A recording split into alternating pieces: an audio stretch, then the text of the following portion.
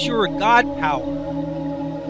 Get everything you ever wanted and live the life of your dreams. The Master's Course. Copyright 2010 by Richard Lee McKim Jr. All rights reserved. Let the quest for knowing begin.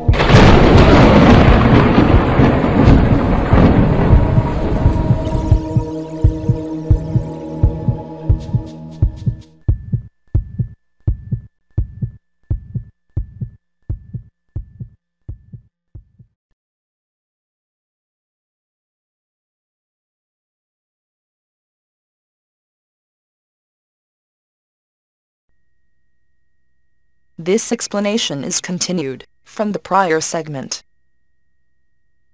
For best results, watch the prior segment, number 65, first. But if they were to say to themselves, or really understand, especially after reading this book, that just because you have no eyes doesn't mean you don't have a seeing function.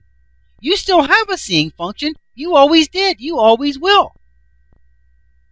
Now, you could actually see from the same place as your eyes, whether you have eyes or not. You could have glass eyes, and you could still see just as well as anybody else. If you thought you could, if you knew you could, if you realized you could. If you have some kind of an impairment in your brain, be it uh, Alzheimer's or a brain injury or whatever, if you realize that your thinking is not going on in your brain, and instead you started thinking and realizing that you're thinking from a mind that's in a different location that's not the brain, you could have every bit of your functionality as you always did, regardless of what the representation's condition is. Because it doesn't matter. Those people that see from their fingertips, the conditions of their eyes have nothing to do with their vision, have nothing to do with their ability to see. Nothing. So, getting back to this illustration, the fact that scientists have found things here, I mean, them finding thinking functions in the brain in those different locations is no different than somebody saying, hey, you know, it's an interesting thing, but I've discovered that when I open my eyes, I see. I've discovered that there's a seeing function right here on the front of my face. And I've discovered that on the sides of my head, I have a hearing function. That when I put my hands over it, I don't hear as well, so my hearing must be here. My seeing must be up here. My smelling must be here on my nose. My tasting must be in my mouth.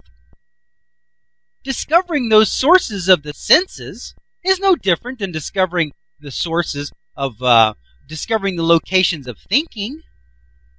The representations of thinking are no different than the representations of seeing and hearing and tasting and touching and smelling.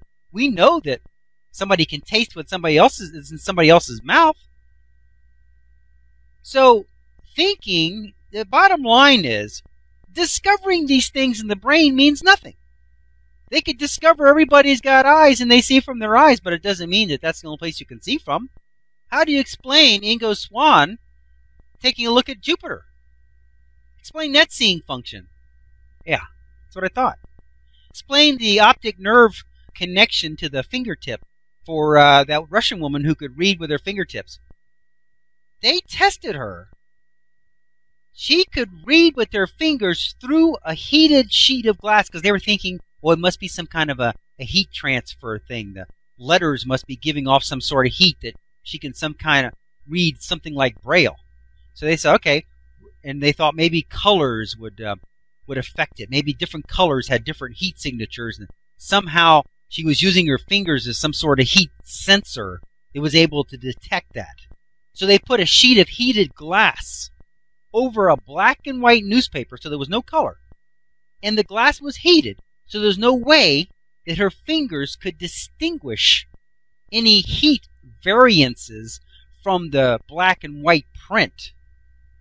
And still, she was able to read that black and white print on the other side of a sheet of heated glass with her fingers because her fingers were behaving in a visual way. So, explain how the optic nerve and how the lenses are in the tips of your fingers. Yeah, that's what I thought. Because the seeing is not a physical property. It's a it's a energy property. The functionality is an energy property in the energy realm. It just so happens it's synchronized with our eyes for a very realistic experience. And you know what? It's great. It's great. But what I'm trying to tell you is, I want you to get the thinking and all these functions that they've discovered in the brain are not in the brain. The brain is not doing anything.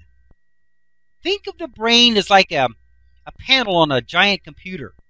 You know how you see these movies where they go up and they look at this big panel of all these uh, monitors and little indicator lights and all that kind of thing? Now, when that indicator light is going up and showing that something's overheating, is the indicator light itself overheating? No.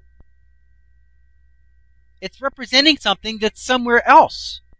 So when you look in the brain and you see all this activity, all that activity is just represented lights, just little meters, little things going on that are representing things.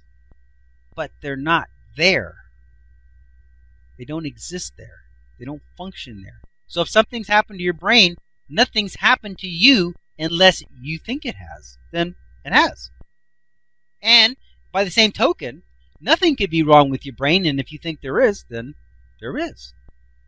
It's all in your beliefs and meanings. So, bottom line on this illustration is just because they've discovered these places in the brain that do these kinds of things doesn't mean that those places in the brains are the source of those kinds of functions. They're not. They only represent there. Okay, let's continue. When I make the comparisons between the radio's representative dial and the brain's representations, people point out that it is easy to see the connection between the radio tuning knob and the dial and the tuner itself. After all, there is a string that leads right to the actual tuner. That is so, but it is still the same, only our links between our representations and their actual, real, functioning place are invisible. That is the main difference between the radio's beliefs and meanings, links, and relationships, and ours, is that we can see the radio's links and even touch them. However, the relationships, links, and associations between our physical representations and their real functioning form are invisible to us. We know that they're there, but we cannot see them or touch them.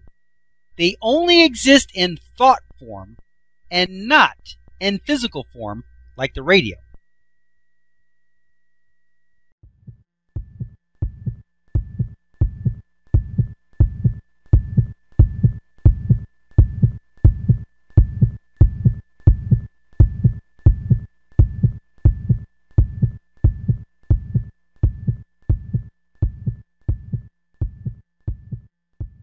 To continue, go to How to Use Your God Power, chapter number 10, segment number 67. Let your quest for knowing continue.